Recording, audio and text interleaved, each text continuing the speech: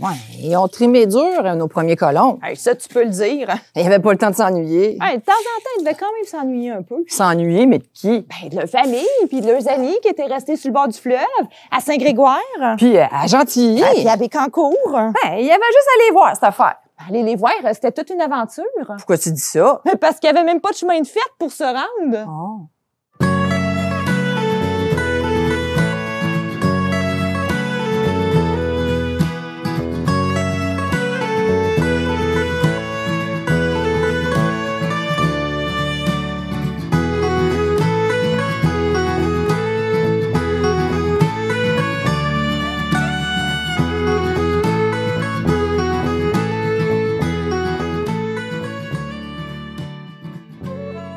Les premières années de la colonisation des Bois-Francs vont être des années de grande souffrance.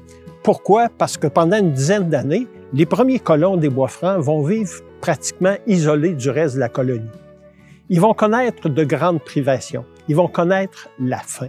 On le sait, tout ça commence en 1825 avec l'arrivée de Charles-Léon à Saint-Louis de Blandford. Et là, rapidement, on va voir apparaître de nouveaux îlots de peuplement dans le canton de Stanford, ce qui va donner Princeville, dans le canton de Somerset, ce qui va donner Plessisville, et bien sûr dans le canton d'Arthabasca, ce qui va finir par donner les villages d'Arthabascaville et ensuite le village de Victoriaville. Ces gens-là qui arrivent dans les Bois-Francs, ils viennent d'où? Ils viennent des anciennes paroisses le long du fleuve, Saint-Grégoire, Bécancourt, Gentilly. Ces gens-là fuient la misère qui s'est installée dans leur seigneurie. Ils connaissent les bois francs. Plusieurs y étaient déjà venus pour chasser, pour trapper. Ils savent qu'il y a là des sols riches, des sols surtout qui sont inhabités. Et en plus, il y a du bois en quantité et en qualité. C'est donc très invitant. Le problème, c'est qu'il n'y a aucune route, aucun chemin qui donne accès à la région des Bois-Francs, ce qui constitue le principal obstacle à la colonisation de la région. Charles-Édouard Mayotte nous en parle. Le manque de chemin, il faut l'admettre, a été la cause première de toutes les misères des premiers colons des Bois-Francs.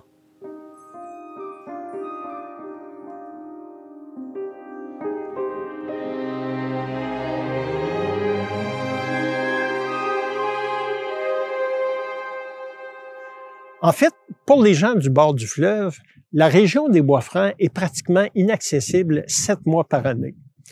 Il faut y venir en période de gel pendant que le sol a été durci. Parce qu'en période de dégel, il faut s'aventurer dans un bourbier épouvantable, dans une zone marécageuse qui est très périlleuse à traverser. Bon, dans de savane encore. Il exagère. là. Ça devait être pas si pire que ça. Hein, la manière qu'il en parle, c'était toute une affaire à traverser. Tu penses? Eh ben oui, les pieds dans l'eau, dans la boîte, puis des racines. Ouais, les orteils devaient leur ratatiner. Hey, pas juste les orteils. Oublie pas, là, il y a même des hommes qui sont morts dans ces savanes-là. Ouais.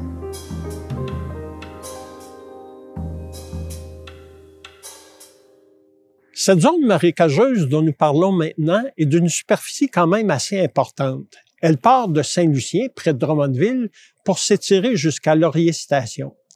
Et elle est d'une largeur variable qu'on peut estimer allant de 10 à 20 kilomètres.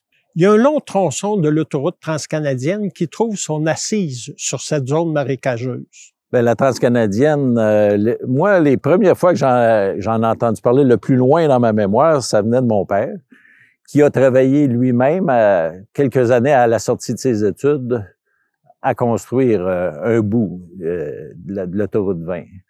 Puis à cette époque-là, il faisait une, un côté de la 20 à la fois. Puis les autos se rencontraient, ça s'est rencontré longtemps, les automobiles, à ce moment-là. Puis ils ont traversé des grandes zones marécageuses.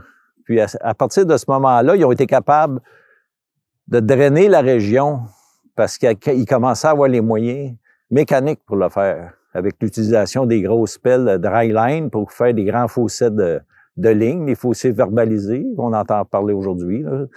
Puis euh, ils ont pu drainer la région, puis après ça, construire la- l'autoroute.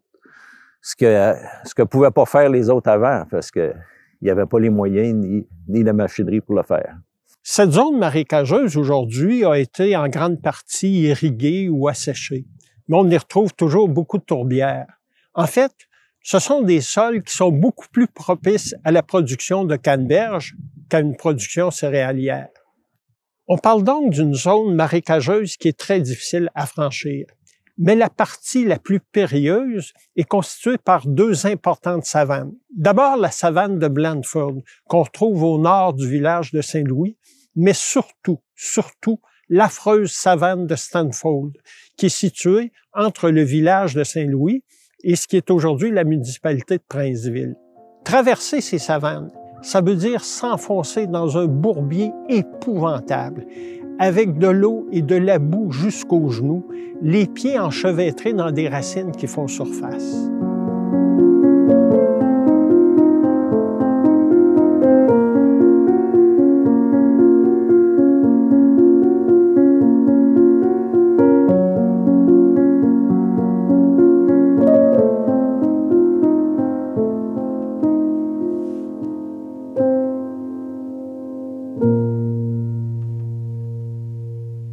Il y a des hommes et des bêtes qui y ont laissé leur peau.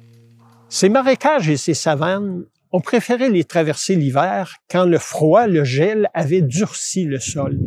On pouvait alors prendre des voitures, des traîneaux tirés par des chevaux, partir des bois francs et aller dans les vieilles paroisses le long du fleuve chercher des provisions, chercher des victuailles, chercher de l'outillage qui permettrait de survivre dans les bois francs.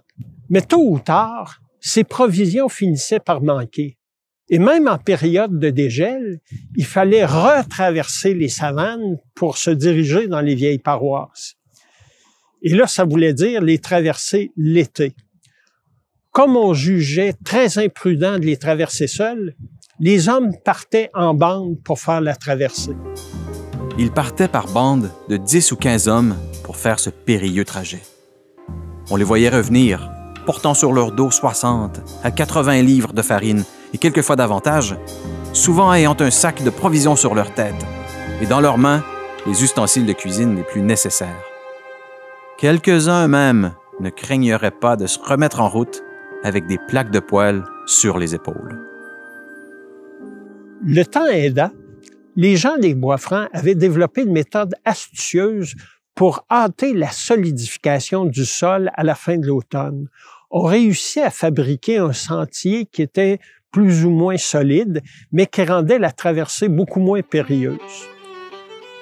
Pour rendre ce sentier praticable aux voitures d'hiver, on était obligé d'aller, par corvée de 15 à 20 hommes, battre la neige avec les pieds pour la détremper avec l'eau, sans quoi la glace ne se serait pas formée. Cela ne se faisait pas sans que l'on vit plusieurs enfoncés jusqu'aux genoux et souvent jusqu'au milieu du corps dans cette eau fongeuse et à demi gelée. Cette méthode permettait donc de solidifier le, le, sentier et de le rendre plus praticable. Mais il restait tout de même trop étroit pour que deux voitures puissent se rencontrer. Si deux voitures se rencontraient, il n'était pas rare de voir les chevaux qui mettraient le pied hors du chemin battu disparaître presque entièrement dans les ornières, d'où on ne les retirait qu'au moyen de cordes et de leviers. Quelques-uns de ces pauvres animaux et plusieurs bêtes à cornes y ont même péri. Ces marécages et ces savanes, les premiers colons des Bois-Francs ont dû les traverser pendant dix ans avant que les autorités gouvernementales autorisent enfin la construction d'un chemin qui relierait le bord du fleuve au Bois-Franc. Ceux qui ont sans doute le plus souffert de cette situation sont les premiers missionnaires qui sont venus dans les Bois-Francs. Ils devaient constamment se promener à pied pour aller d'une mission à l'autre. C'est pas étonnant que deux d'entre eux, l'abbé Clovis Gagnon, puis ensuite l'abbé Charles-Édouard Bélanger, aient été à l'origine de plusieurs requêtes qui ont été adressées aux autorités pour obtenir la construction d'un chemin. Ils vont finir par obtenir gain de cause, mais dans le cas de l'abbé Bélanger, ça va être un peu tard, puisque l'autorisation de construire la route va arriver un an après qu'il soit mort d'épuisement en essayant de traverser l'affreuse savane de Stanford. Les colons, ils devaient être tannés de se promener dans le bois. Hey, ça va leur prendre des chemins à un moment donné. Ben, il devait bien y avoir un gouvernement pour s'occuper de ça. Oh. D'après moi, le gouvernement, il devait s'en ficher pas mal des premiers colons des bois francs. C'est pas effrayant. Mais c'est qui qui va les faire? Paraîtrait, là, que les premiers premiers chemins, là, dans le canton d'Arthabasca, ben c'est les colons eux autres mêmes qu'ils ont fait. Tu me dis pas. Ils se faisaient des chemins eux autres mêmes. Mais euh, pour aller où? Paraîtrait que ce serait pour aller se voir les uns les autres. C'est-tu pas beau, ça?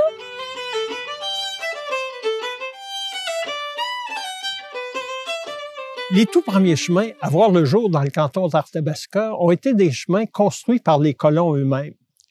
Il s'agissait de relier les habitants de deux îlots de peuplement, ceux du bras nord et ceux du bras sud. En fait, il y a une certaine confusion qui entoure l'appellation de ces deux îlots de peuplement. Pour comprendre l'affaire, faut venir en 1835, quand des premiers arrivants viennent squatter les terres le long de la rivière Bulstrode, là où on retrouve aujourd'hui le réservoir Baudet. En fait, à l'époque, les gens étaient persuadés qu'il ne s'agissait pas d'une rivière Bulstrode, mais plutôt d'un embranchement, ou si vous préférez, d'un bras de la rivière Nicolet qui coulait plus au sud. Presque en même temps, d'autres arrivants viennent squatter les terres le long de la rivière Nicolet, à la hauteur du boulevard Jutras, là où on retrouve aujourd'hui le parc des Abénakis. Dès 1841, des documents font état de la présence de deux chemins qui relient les habitants du bras sud à ceux du bras nord. Si on voulait reconstruire ces deux chemins-là, qui n'existent plus aujourd'hui, le premier partirait à peu près de la rue Cartier pour se rendre à la route 161 à la sortie de Victoriaville vers le village de Saint-Valère. Le deuxième, un peu plus à l'est, partirait à peu près du parc des Abénakis pour se rendre à la rue Louise à proximité de la route Grande Ligne. En 1841, un troisième îlot de peuplement apparaît dans le canton d'Arthabasca. Et comme il est situé entre le bras nord et le bras sud, il va tout simplement recevoir l'appellation entre les deux bras. Et c'est là qu'un troisième chemin apparaît dans le canton d'Arthabasca. Une des premières actions des 18 squatteurs est de construire un chemin qui traverse au milieu de leurs terres respectives et qui permet de communiquer d'une propriété à l'autre. Ils donnent à ce chemin le nom de rang entre les deux bras. Ce chemin est le premier à traverser une partie du township d'Arthabasca d'est en ouest. Si on voulait le reconstruire aujourd'hui, il suivrait tout simplement la rue Notre-Dame-Est, à partir du boulevard Boisfranc, en allant trois kilomètres plus à l'est jusqu'au bout du rang No. Bon, il commence à en avoir des chemins. Ah, il devait être pas mal fier de leur entre les deux bras. Comme ça, ils vont pouvoir visiter les uns les autres. Ouais, mais ils sont encore isolés du reste du monde. Qu'est-ce que tu veux dire? Ben, il y a toujours pas de chemin pour les amener jusqu'au bord du fleuve. Il va bien falloir que ça vienne un jour. Ouais, mais pour ça, il va falloir que le gouvernement se décide à faire de quoi? Oh. ah, le gouvernement!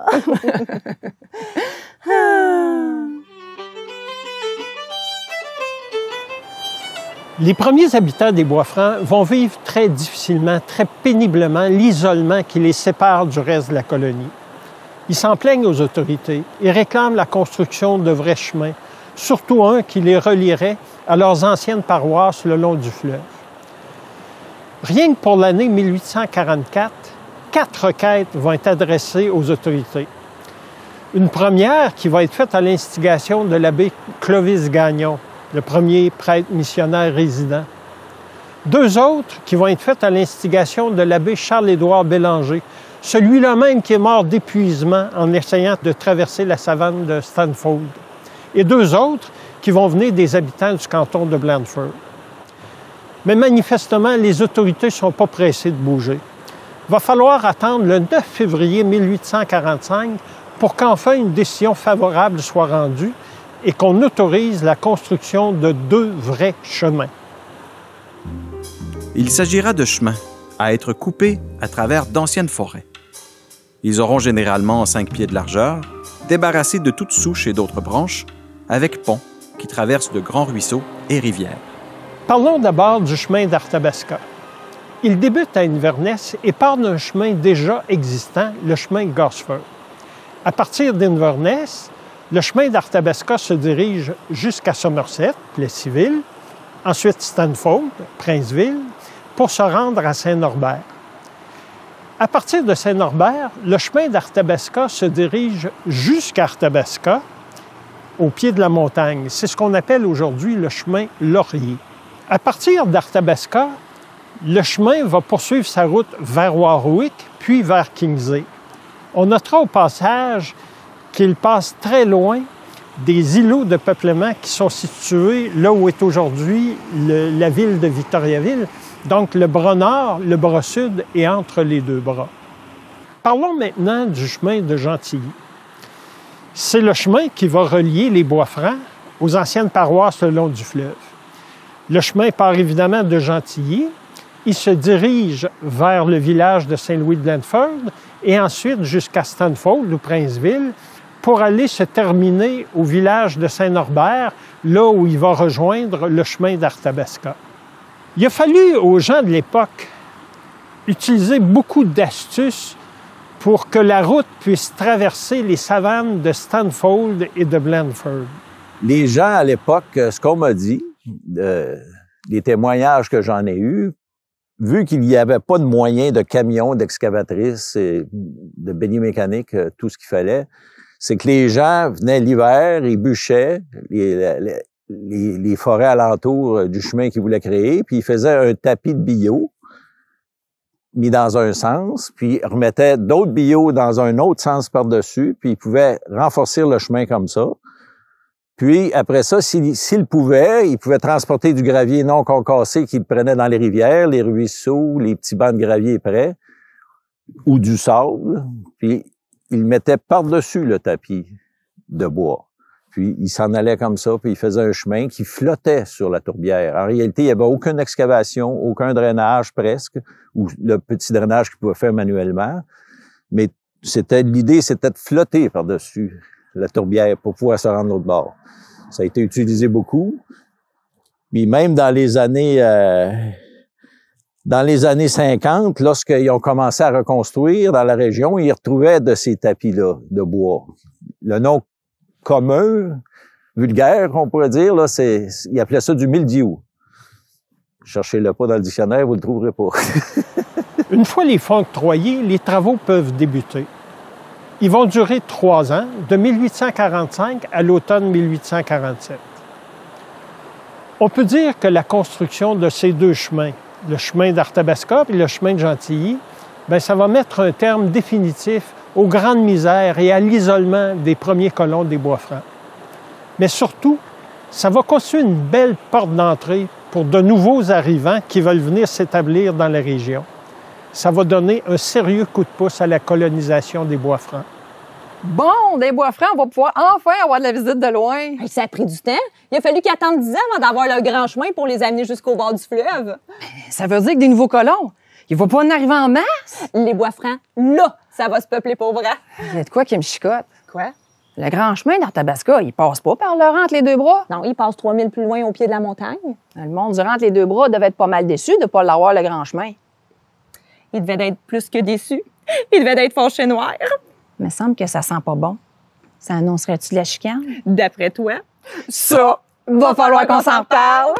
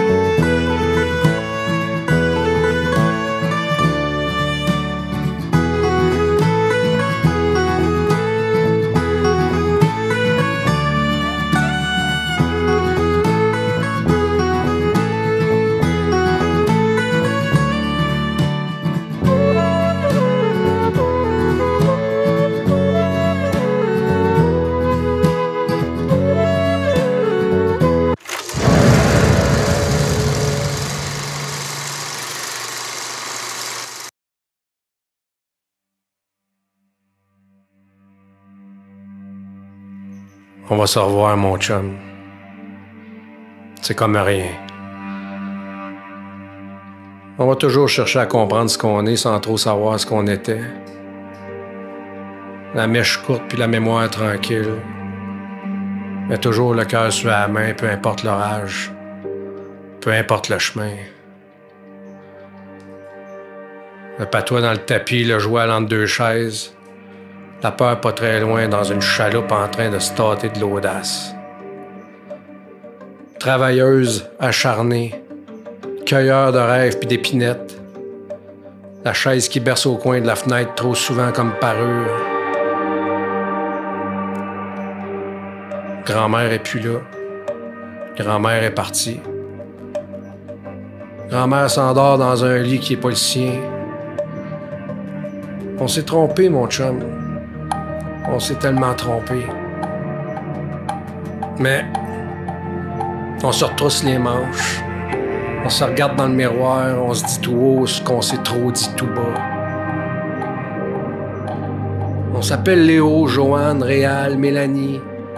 On s'appelle Susanna, Marc, Diego, Sergei, Suzy. On regarde du même bord du quai quand le soleil se couche.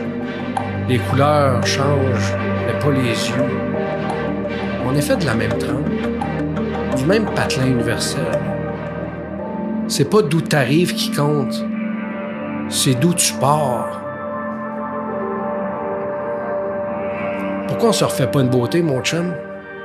En mettant le territoire de l'avant, en faisant la terre notre priorité, puis la candeur au centre de nos intentions.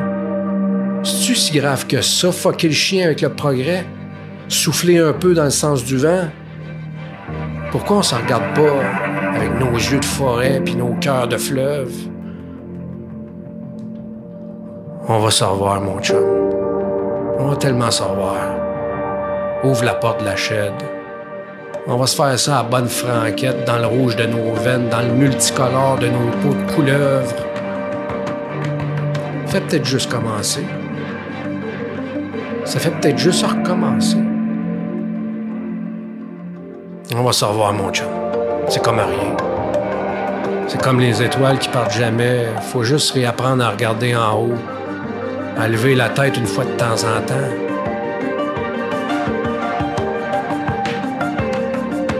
Il y a d'autres histoires à raconter, d'autres roches à soulever, d'autres montagnes à gravir, d'autres beaux mots à se dire.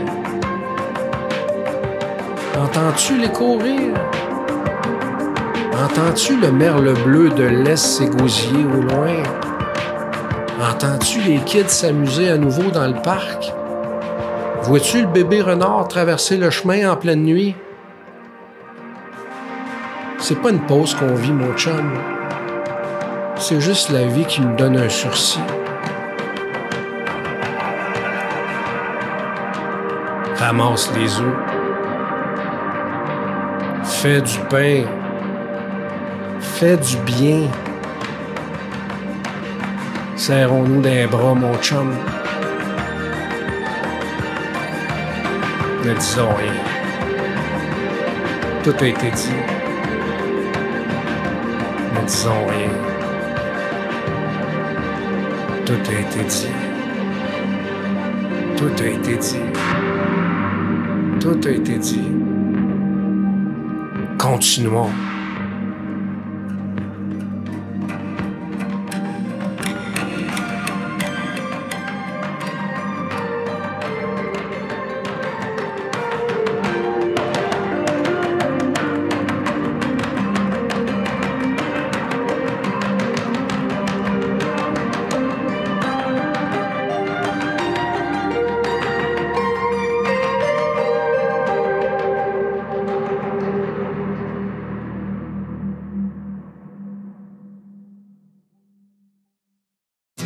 Kéliane, c'est une petite fille très active. Elle aime ça faire du vélo, de la trottinette, de la danse, de la course. Mais elle aime par-dessus tout faire de la natation puis sauter dans la piscine.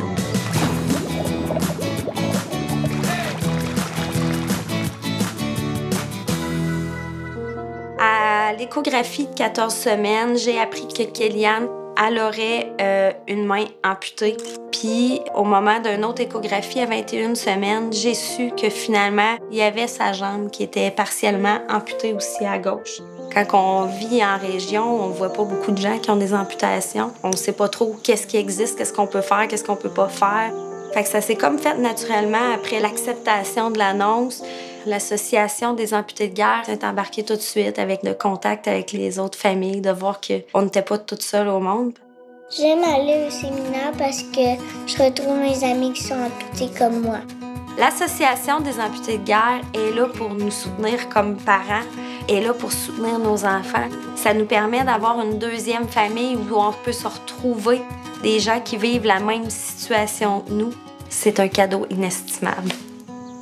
C'est très amusant de faire du vélo. Maintenant j'ai ma prothèse, je peux le faire toute seule. Grâce à la générosité du public, nos enfants ont les adaptations nécessaires qui leur permettent de pouvoir faire du vélo, de la natation, toutes les activités auxquelles ils peuvent penser. La jambe d'eau permet à Kéliane de pouvoir prendre son bain et sa douche de façon sécuritaire. Ça lui permet aussi de marcher dans le sable, ce qu'elle aime beaucoup faire, et, bien important dans sa vie, des fameuses gougounes. Si l'association des amputés de guerre n'était pas dans nos vies, il y a plein de choses que nos enfants pourraient pas faire. Merci de permettre à ma fille et aux autres enfants amputés de pouvoir s'accomplir puis avoir une vraie vie d'enfant.